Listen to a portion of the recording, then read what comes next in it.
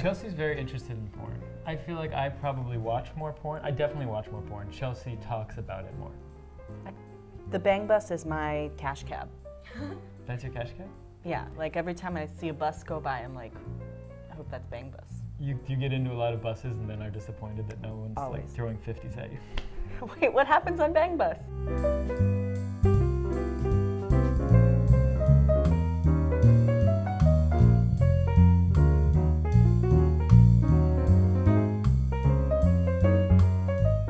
Guys in a van.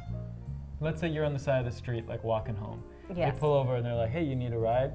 "Mm, okay. She gets in, and then the next thing is usually like, would you show us your tits? And then like they're having sex within like two minutes of that.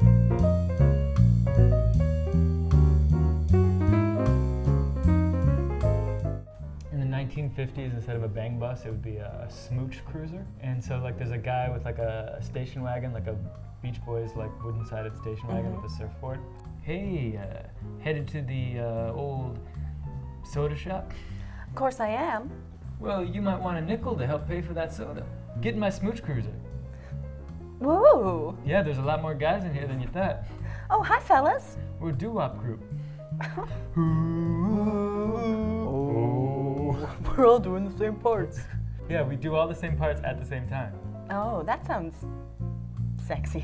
Yeah. Speaking of sexy, what would it cost to have you take off those little shoes? oh, well, I, these little shoes? I don't you a quarter. A quarter? I'll take them off instantly. What else would you do for a quarter? Um, I don't know. Would maybe- you smooch my friend? Sure, for a quarter. He's got the biggest lips in town. Oh my goodness, I've never seen lips like that. All right. Mwah! Woo! Don't tell my boyfriend about that smooch.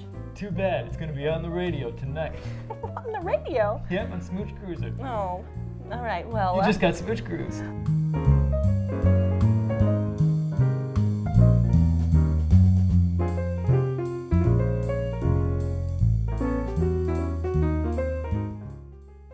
Please don't say anything racist or anything about butter, all right? Yeah, my biscuit's getting pretty hot.